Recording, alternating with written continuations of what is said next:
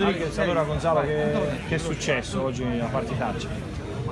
Sì, ma non credo che il risultato sia quello che si è visto in campo. Eh, credo fino agli ultimi 25 minuti eh, abbiamo giocato bene, abbiamo avuto la palla, forse non abbiamo creato le situazioni per fare gol, però eh, una partita difficile e abbiamo perso. È stato il ritmo, è stata la forza fisica, cosa vi ha messo un po' più in difficoltà?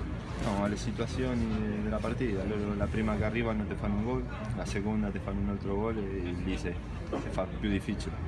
Adesso come ripartire? C'è il Napoli, poi la Roma?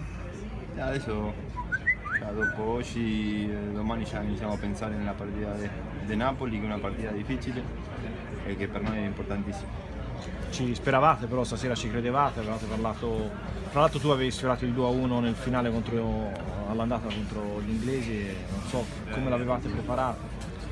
No, avevamo fiducia in noi stessi, eh, che la potevamo farla e non, non l'abbiamo fatto così, sono partite che, che è meglio dimenticare e pensare nella prossima. Qual è adesso il vostro obiettivo? Consolidare il terzo posto, provare a provare il secondo? No, vincere domenica, dobbiamo andare piano, pensare nella partita del lunedì che che è un'altra finale per noi.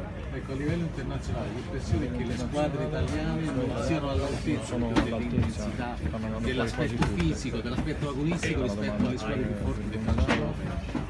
No, non credo che sia così. Eh, l'anno scorso noi siamo arrivati a semifinale, la Juve è arrivata alla finale della Champions, quindi no, non credo che sia così. Grazie. Grazie a Gonzalo.